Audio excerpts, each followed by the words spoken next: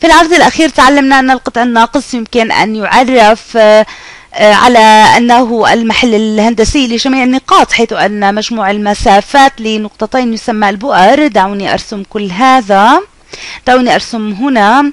سيكون هذا محور X. إذا مجموع المسافة لهاتين النقطتين يسمى البؤر أو البؤرة وتكون ثابتة. فإذا كان هذا القطع آه، الناقص سأرسمه آه، سيكون موقعه هنا. هكذا. جيد سيتمركز على نقطة الأصل. وهذا ليس شرطا لكن من أجل الإيفاء بالغرض دعونا نجعله متمركز على نقطة الأصل. إذا كانت هذه البؤرة هنا وهذه البؤرة الأخرى هنا فسيعرف القطع الناقص آه، أو يعرف على أنه مجموعة النقاط أو المحل الهندسي لجميع النقاط حيث إذا أخذت المسافة لأي نقطة من هذه النقاط الموجودة على القطع الناقص ونأخذ المسافة لكل بؤرة.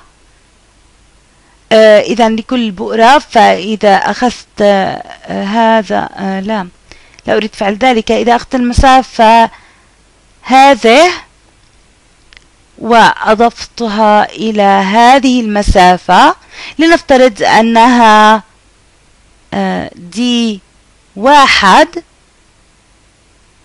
آه، لا هذا خط سميك آه، لنسمي هذه دي واحد وهذه دي اثنان فهذا سيكون مساويا لعدد ثابت لكل القطع الناقص. فإذا أخذت نقطة عشوائية على القطع الناقص لنفترض أنها هذه النقطة وإذا أردت جمع هذه آه، آه، المسافة إلى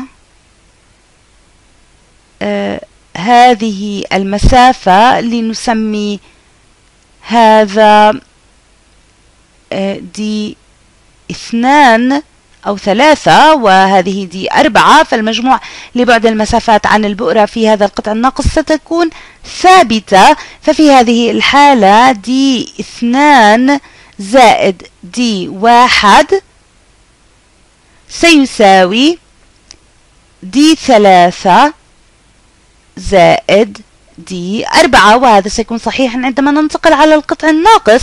ولقد تعلمنا من العرض السابق أن مقدار هذا سيساوي 2a حيث أن a هي نصف القطر الرئيسي. فإذا كانت هذه صيغة القطع الناقص هذا من حيث أتت a.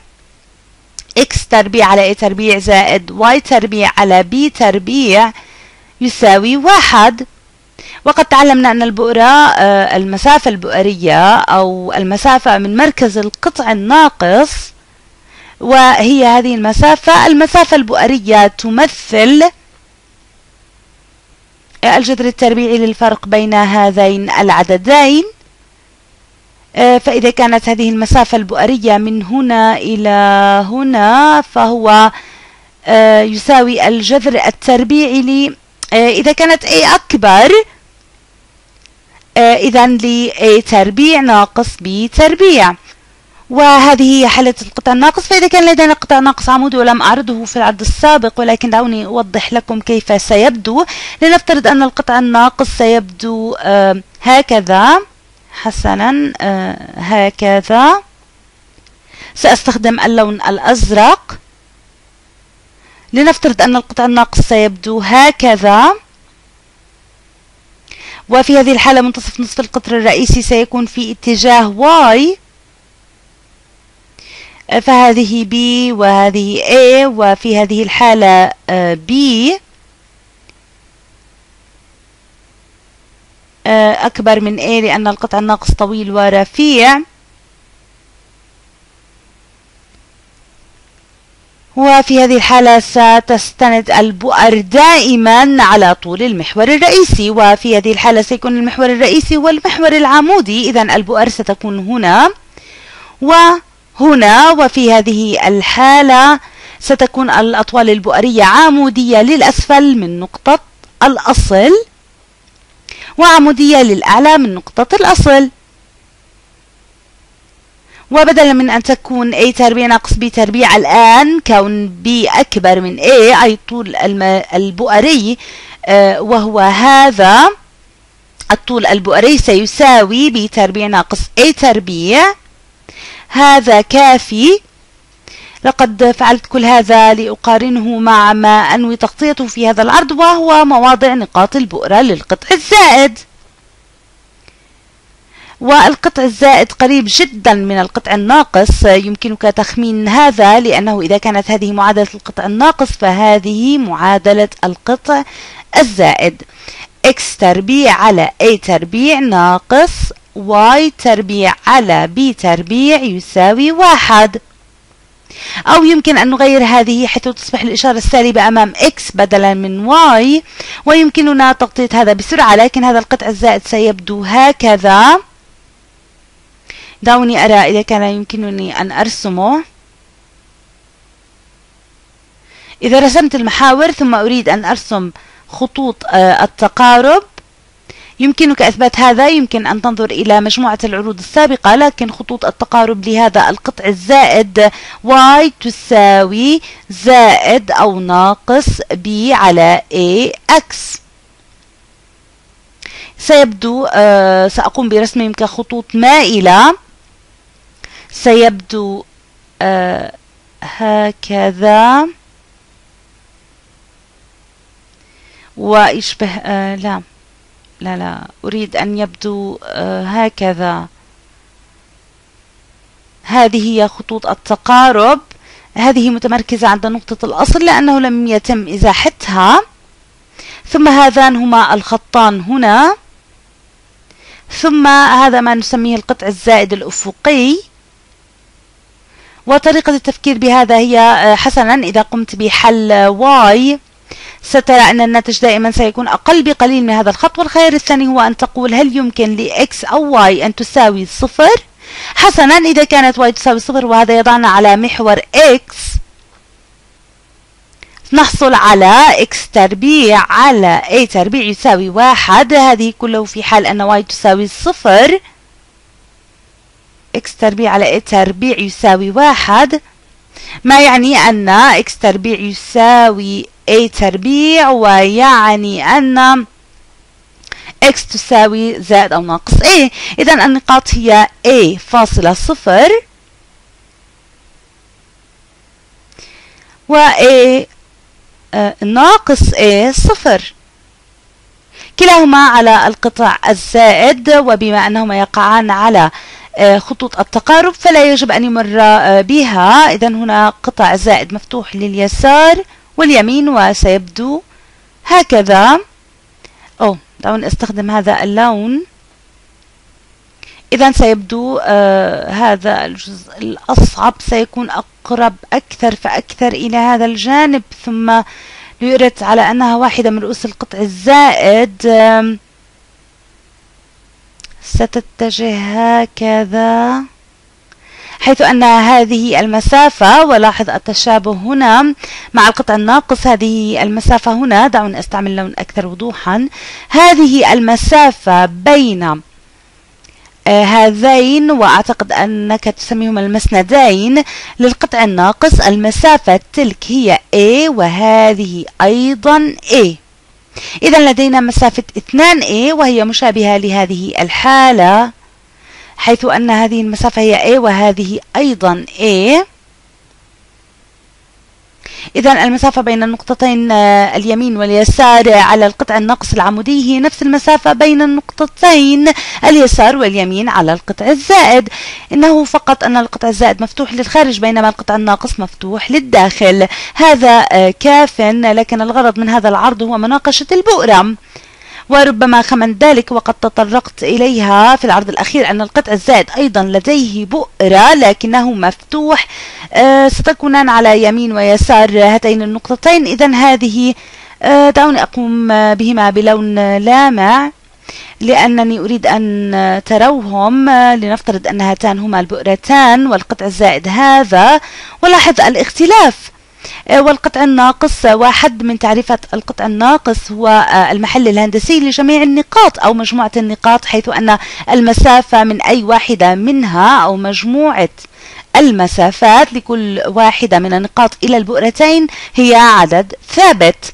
الآن تعريف القطع الزائد آه، واحد من تعريفاته يمكن أن يكون المحل الهندسي لجميع النقاط حيث نأخذ الفرق ليس المجموع بل نأخذ فرق المسافات بين البؤرتان.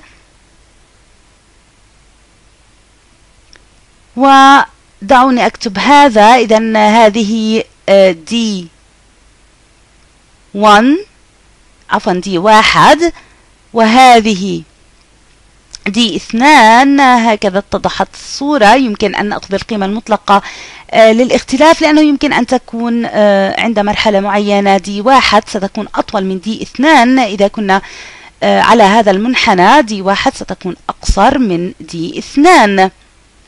إذا دي واحد ناقص آه، آه، دي اثنان. القيمة المطلقة ستكون عدد ثابت في القطع الناقص آه، دي واحد زائد دي اثنان كان ثابتا. إذا هما مترابطان بشدة.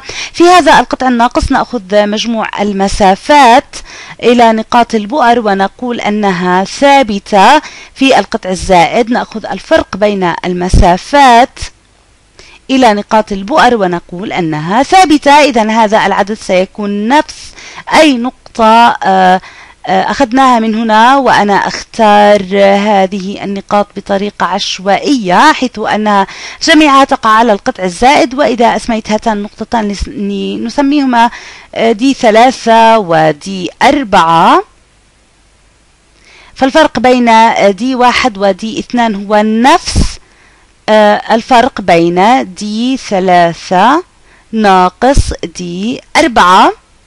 ستكون القيمة ثابتة أيضا.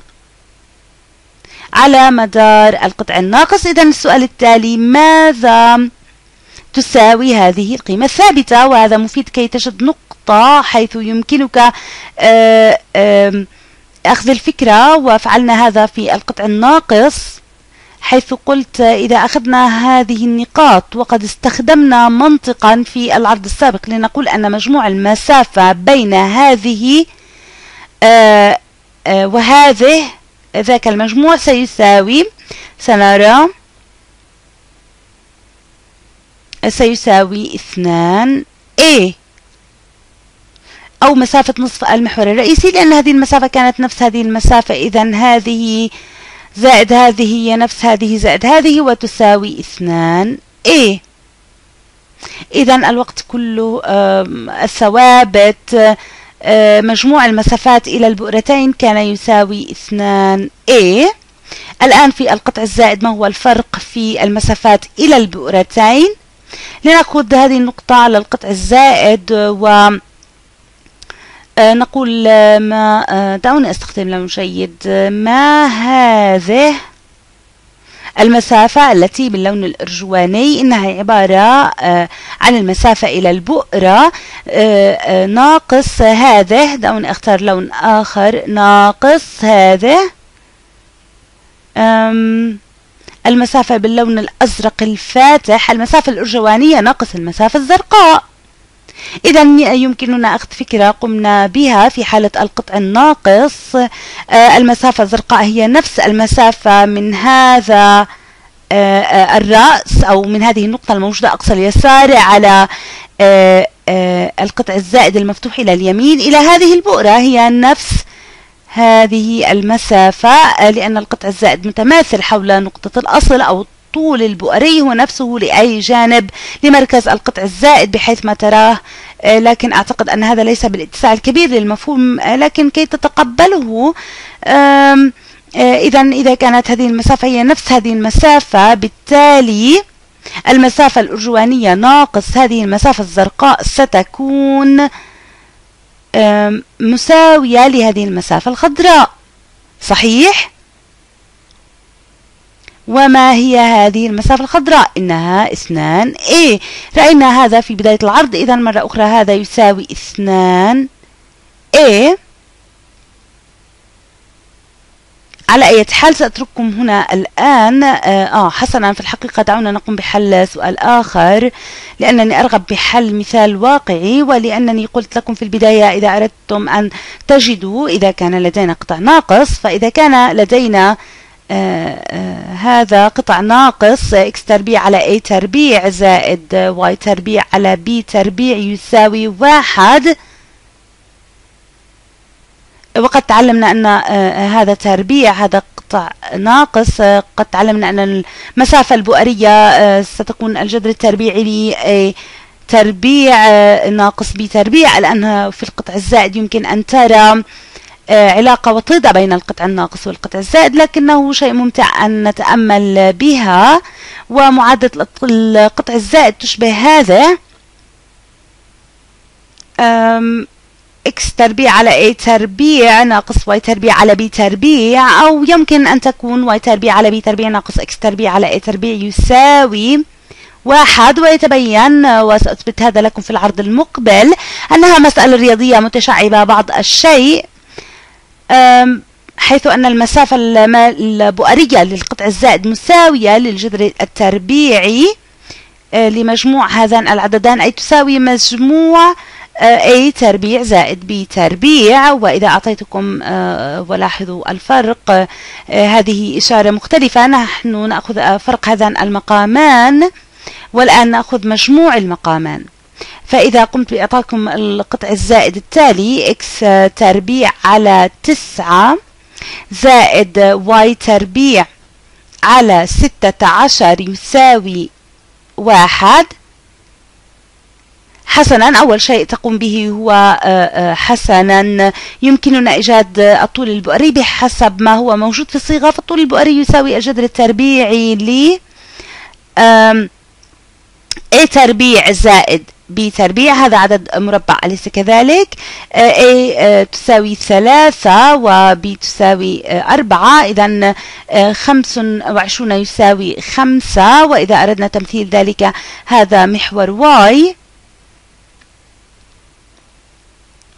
وهذا محور X. إذا الطول البؤري هي المسافة.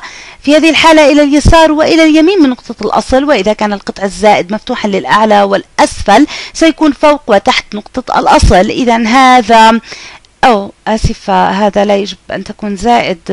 نحن نتعامل مع قطع زائد يجب أن تكون سالبة. آه، ما قمت بكتابته من قبل مع زائد هو قطع ناقص وبالسالب آه، قطع زائد. آه، إذا خطي التقارب هذا متمركز على نقطة الأصل ولم تتم إزاحته سيكون 16 زائد 9 إذا ستكون الخطوط حادة وستشبه هذا وهذا هذان هما خطي التقارب. نقطتا الرأسان تقعان على اثنان ضرب A و A تساوي ثلاثة. إذا A تربيع يساوي تسعة و B تربيع يساوي ستة عشر. إذا هذا هو المركز. إذا نقطة الرأس هذه ثلاثة وهذه ناقص ثلاثة. ثم نقاط البعد البؤري ستكون آه،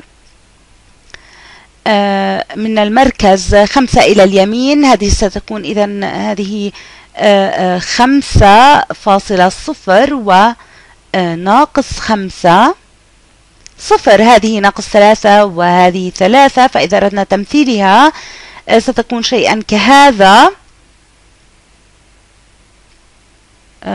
نبدأ هكذا.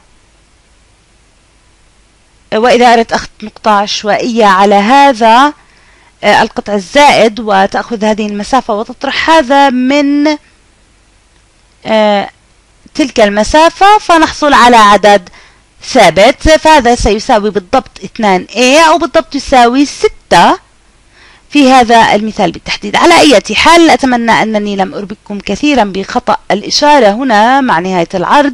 لكن في العرض التالي آه، سأقوم بإثبات الصيغة لكم بمسائل متشعبة لكن بغض النظر أنها ممتعة.